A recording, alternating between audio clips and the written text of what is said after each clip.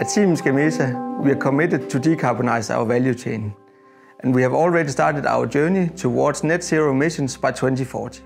We are now introducing our greener tower, which reduces emissions from steel used for our tower production. With greener tower, we guarantee a maximum limit of 0.7 tons CO2 equivalent emissions per ton of steel. This means a 63% reduction compared to average steel production. Our steel suppliers can use different measures to stay below the maximum limit. This includes less energy-intensive processes, increased use of scrap steel, and increased use of renewable energy sources. The greener tower is fully comparable to a conventional steel tower.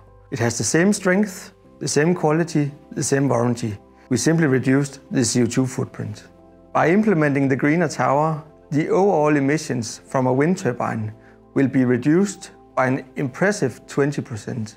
This means that if all towers installed by Siemens Gamesa for one year would be replaced by greener towers, it would be the same as removing 466,000 cars for one year.